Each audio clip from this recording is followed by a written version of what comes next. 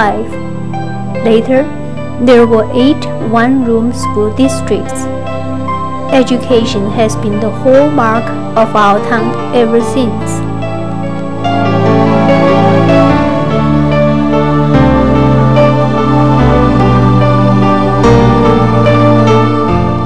Uh, the schools in Westboro are interesting because, of course, the first educated person in Westboro was Reverend, Reverend Ebenezer Parkman. And he was Harvard educated, and he became the minister and the most learned man in town in 1724. And he continued, I believe, 58 years or more as our town minister.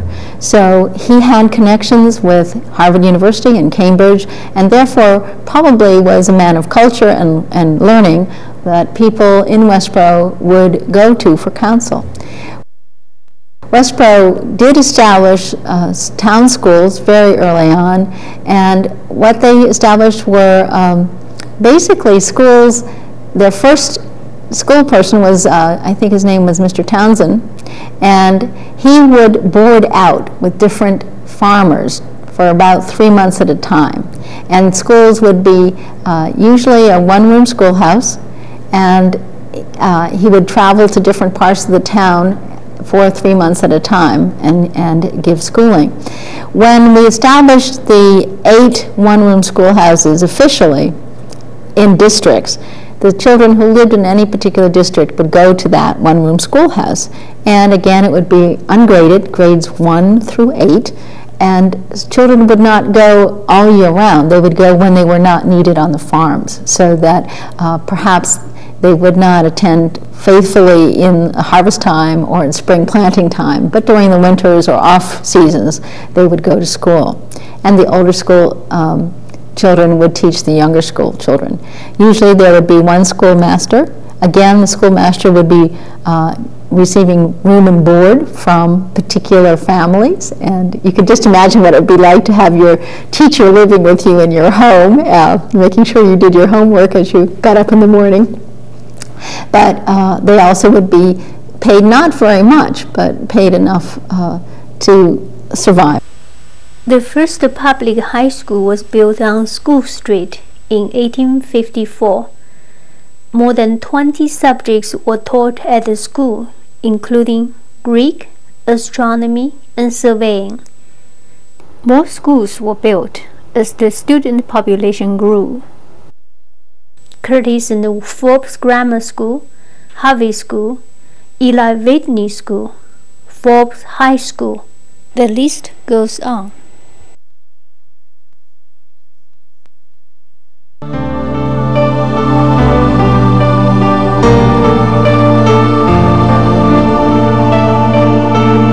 The old Eli Whitney School building still stands. It is now the YWCA Child Care Center. Over the years, the school system has grown even bigger. Now we have six schools Armstrong, Fales,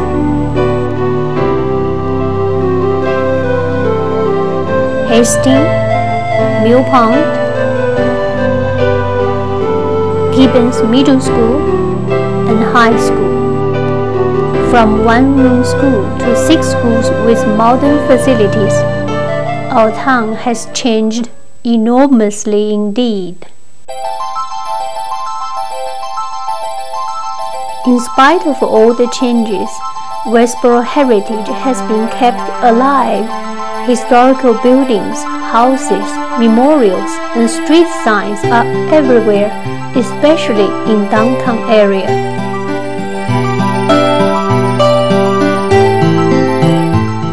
The Rotary 100 feet in diameter, has been the town's focal point.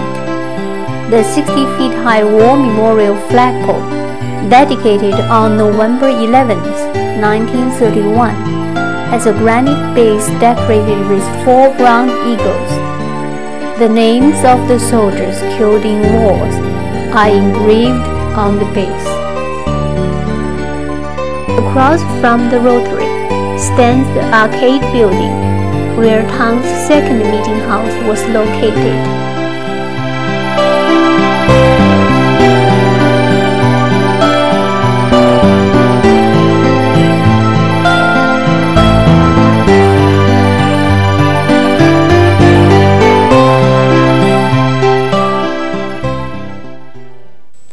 The town hall has an interesting story of its own meeting house was not finished until 1724, and it was used both for church services and for all public meetings of the town government, because at that time in the 1700s, the town and the church were one. There was only one church, which was congregational, and to be a voting member, you had to be a member of the church as well as a property holder.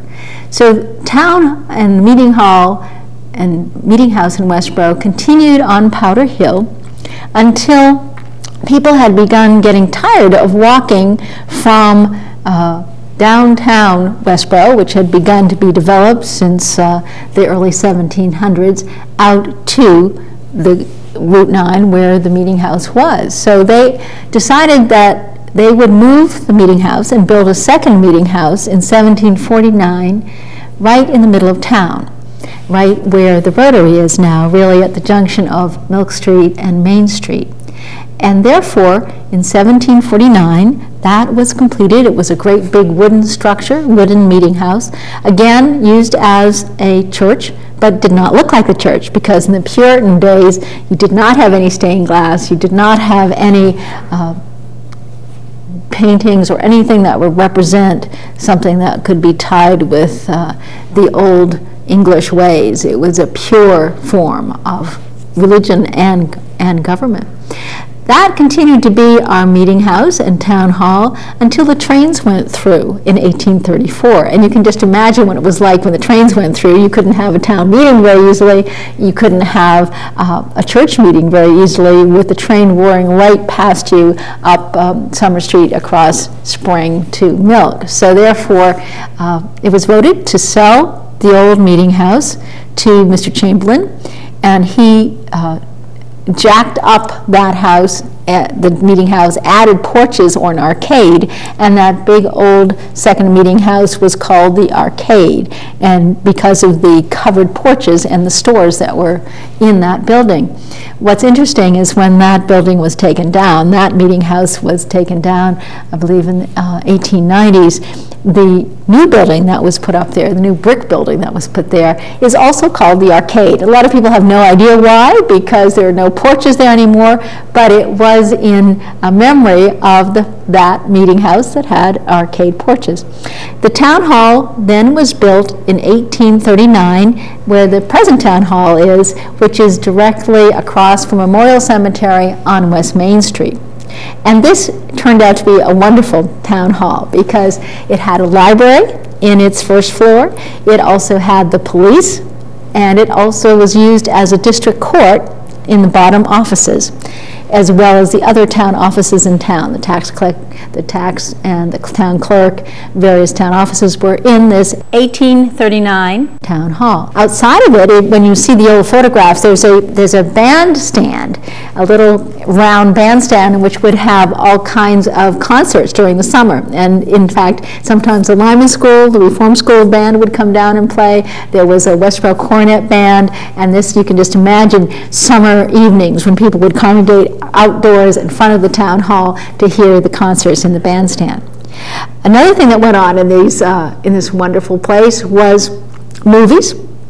There were movies that were silent movies upstairs, and I know a woman named Vesta uh, Tyler played the piano, and then people would come and pay a nickel to see the serial movies every Saturday. Uh, the children, particularly uh, the silent movies that went with cowboys and people being tied to train tracks and all of that. That happened upstairs in Town Hall. There were minstrel shows. There were temperance, a lot of temperance uh, lectures during the late 1800s, during the temperance movement. I'm sure there were fiery anti-abolitionist, uh, anti-slavery talks given there, so that it was a hotbed of social and political activity.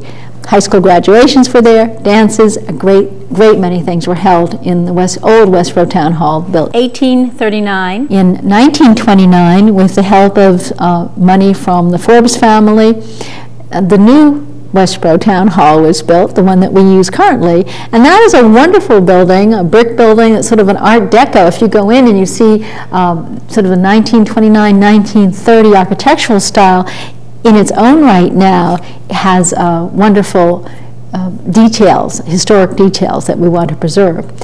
When that was built, it also housed the police department downstairs, uh, the selectman's office, and all town offices. High school graduations, again, were held upstairs in the main auditorium, and there were various cultural activities in Memorial Hall and the other auditorium stage that were in the Westboro Town Hall.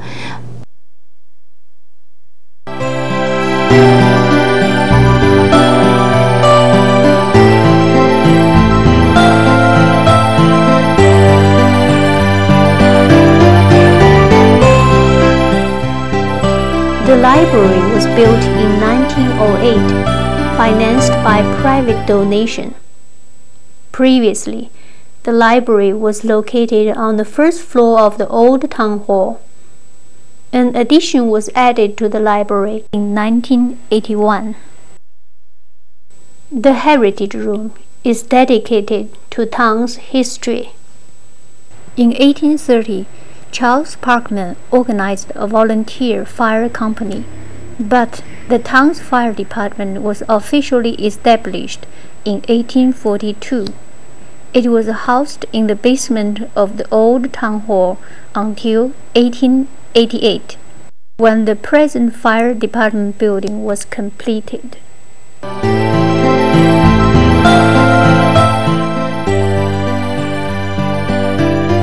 The Forbes Municipal Building is named after Frank and Fanny Forbes, the well-known philanthropists.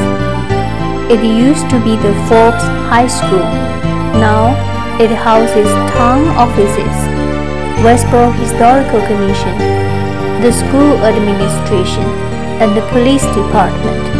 The first police chief, William Magner, was appointed in 1899. Policemen had no cruisers and used their own or rented cars prior to 1952 when the first police cruiser was purchased.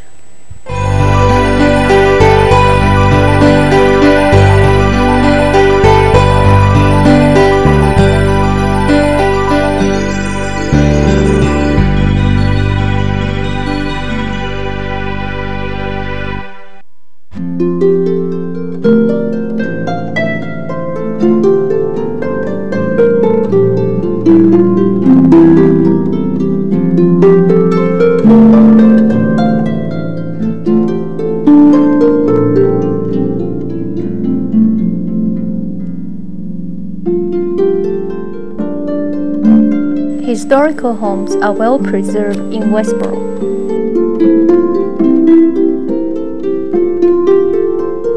The William Sibley House at 13 Parkman Street was built in 1844. Mr. Sibley was one of the slave makers. The bricks used to build the house were manufactured right here in Westboro.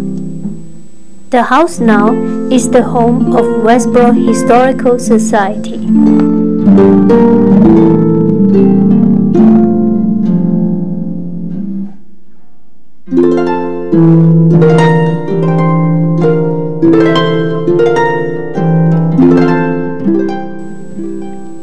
This big clock and the one at Westboro Historical Commission hold a special place in our town's history. It is a beautiful clock that has a second hand and a calendar. The interesting thing, and it's cherry wood, has the brass finials. It was made by our own Gardner Parker. Uh, he was a clockmaker, and uh, Parker's Folly is a street up off um, John Street, West Street, up in that area, behind the St. Stephen's Episcopal Church. And what happened was, up until that time, they used to send to England for the brass works, which you can see through the bonnet. Now, the bonnet is the top of a tall case clock. They're not grandfather clocks. Gardner Parker also made a clock for the town meeting house. And Gardner Parker's clock in our town meeting, uh, meeting house is now in the Smithsonian Institute. And in fact, it's not only in the Smithsonian Institute, it is the first and major exhibit in the on time exhibit at the Smithsonian. So uh, when I went to Washington, I made a beeline to the Smithsonian, and sure enough, the first thing I saw was this wonderful, huge mechanism of a tower clock built by Gardner Parker for the Westboro Meeting House. Uh, and it is really the highlight of that exhibit, and I'm proud to say that Westboro is well represented in the nat- nation's capital and in the American History Museum with our clock from our meeting house. Now, back to the Sibley House. The house itself has become a local history museum. Each year, fourth graders visit the house, learning about town's history as part of their social studies program at school.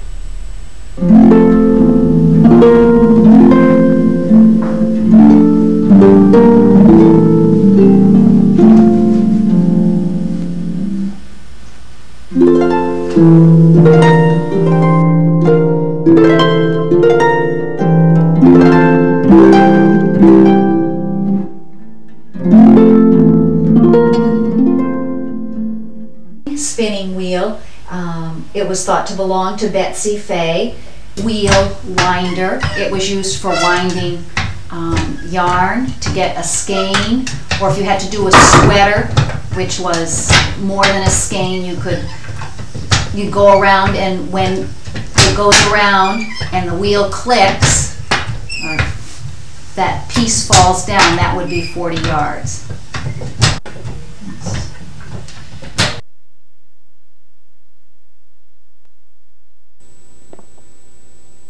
These are collections of autographs, and one of them reads May you have a happy and useful life in your years of strife. Your friend, Mabel Brew.